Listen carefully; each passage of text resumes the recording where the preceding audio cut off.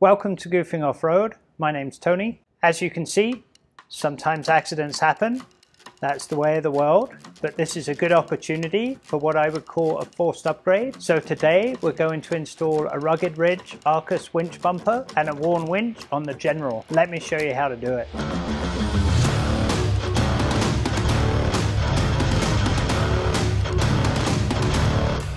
We're going to start off by removing the stock bumper. You're going to need a 7mm socket, an 8mm socket, a 13mm socket, a 16mm socket, an 18mm deep socket, a pry tool and flat bladed screwdriver, some ratchets, and if you have one, an impact gun. The first thing to do is remove the piece of plastic between the bumper and the grill and we're going to do that by taking out these two clips and the five clips that are back here.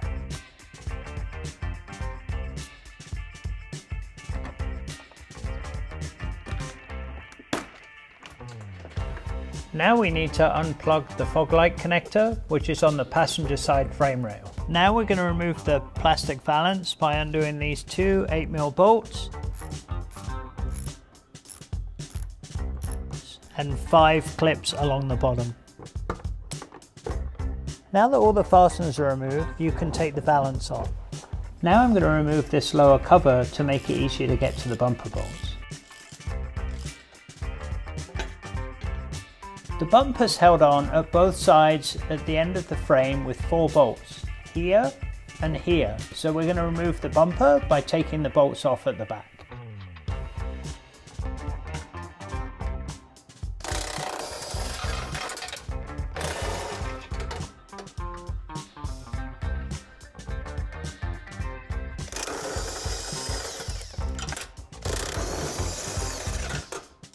With the eight bolts removed from the rear, you can now pull the bumper off from the front. And now you can see the front bumper has been removed. We need to take the factory fog light out of the bumper. First thing we need to do is remove the clips from the cover at the back. And now, to undo the light, we need to remove the four 7mm bolts. Now we can unclip the harness and remove the light. I need to remove the stock fog light wiring harness. To do that, I'm going to remove these 8 bolts holding the plastic trim to the metal bumper.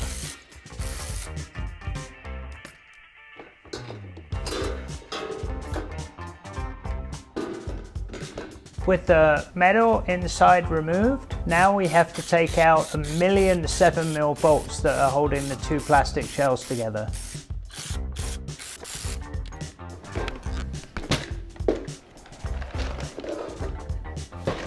And now we can remove the stock wiring harness from the inner plastic lining.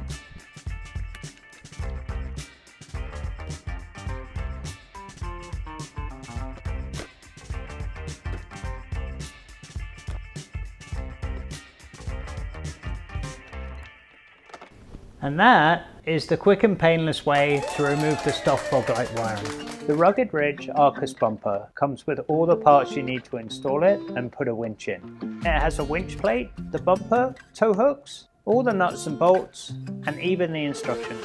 To install the winch and the bumper, you're going to need a 13mm socket, a 16mm socket, a 16mm wrench, a 55 Torx, a flat bladed screwdriver to wiggle the bolts around underneath the winch, and a ratchet. Before we can install the winch plate, we need to remove these OEM horn brackets by taking out the 16mm bolts. Now we can slide the winch plate into place and loosely secure it with the two 16mm bolts we just took out. Because the winch is heavy, to be safe, I'm just going to use these brackets and bolts to secure the winch plate while we put the winch in. We're going to install a Warn winch. Warn winches may be a little bit more expensive, but they're super reliable. And when you're out on the trail, you want your winch to work. The winch comes with all the parts you need to install it on your winch bumper. This winch comes with a synthetic rope and a wireless controller. Before you put the winch on the winch plate, Take these square nuts and put them into the mounting slots on the winch. Then pick up the winch and put it on the center of the winch plate. We test fit the winch and the wires were coming out the back here and it didn't leave enough space for the winch to sit flat. So I modified the case so they came out the side and now it will fit. Now we need to attach this earth lead to the winch and then we can install it. Lift the winch onto the winch plate and loosely secure it with the provided nuts and bolts. If the bolt holes don't line up exactly, you can use a screwdriver to line them up. I ran a string down the middle of the Jeep to the center of the winch plate and then I moved the winch so that it's in the middle. Now I can tighten the bolts up underneath. We took the positive and negative leads from the winch, ran them up by the frame rail and connected them directly to the battery. Now I'm going to install the fair lead to the front of the bumper.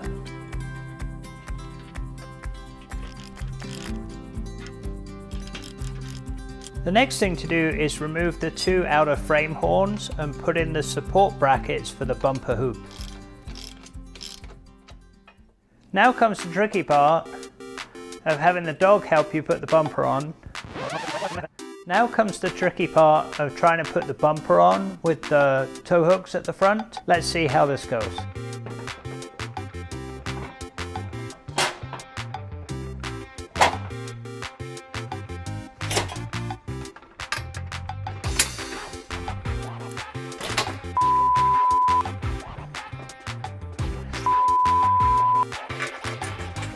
With the bumper loosely in place, we're going to put the bar on to protect the winch and install that hardware loosely. We're not going to install the fog lights right now, so I'm just going to install the fog light bracket to hold the outside of the front of the bumper on. Now that I've got all of the hardware loosely installed, I'm going to tighten up the bolts at the front first then tighten up the two winch plate bolts attached to the frame and then finally the two bolts for the hoop. It turns out this needs a 16mm wrench and I don't have a ratcheting 16mm wrench so I am living so I'm living my life 1 16th of a wrench turn at a time. Now that everything's in place, we can put back the splash guard to protect the delicate sway bar disconnect. Now that the bumper's installed, we would normally install this winch hook, but we're not going to do that.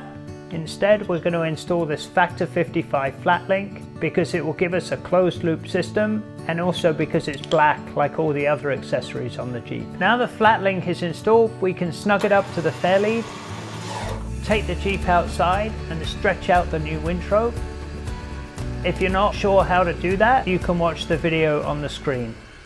For a bolt-on installation, this was actually quite difficult. If you remember, we had to modify the winch control box to get the wires to come out the side, and putting the front of the bumper on with just one person is really difficult. I hope if you have to tackle this, that this video helps you out. Please like and subscribe for more cool videos.